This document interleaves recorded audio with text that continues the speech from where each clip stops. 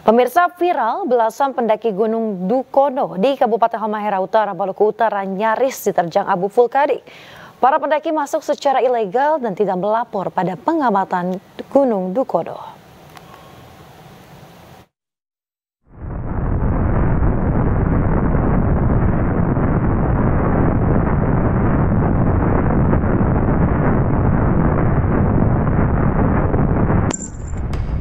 Video berdurasi satu menit yang diunggah Instagram anak Esa memperlihatkan detik-detik erupsi Gunung Dukono di Kabupaten Halmahera Utara, Maluku Utara pada 17 Agustus lalu.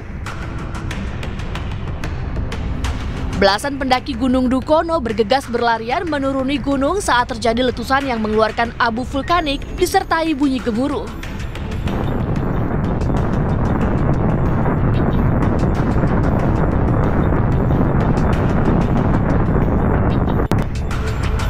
Mereka diduga nekat mendaki padahal pihak pos pengamatan api Gunung Dukono telah melarang adanya aktivitas atau pendakian di radius 3 km dari area kawah.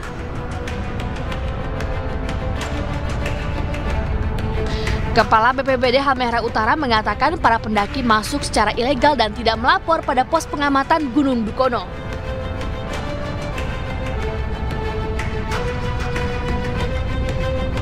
Selama periode 1 sampai 15 Agustus 2024 terjadi 2.387 kali gempa letusan.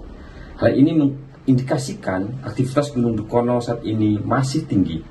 Dalam tingkat aktivitas Gunung Dukono, rekomendasi dari Pusat Vulkanologi dan Mitigasi Bencana Geologi Badan Geologi Kementerian SDM adalah tidak diperbolehkan adanya aktivitas manusia pada radius 3 km dari kawah atau pusat aktivitas.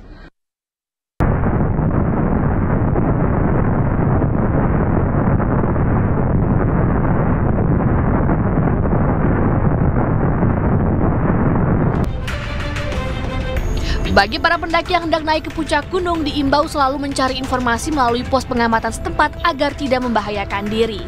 Dari Ternate, Maluku Utara, Ismail Sangaji, iNews melaporkan.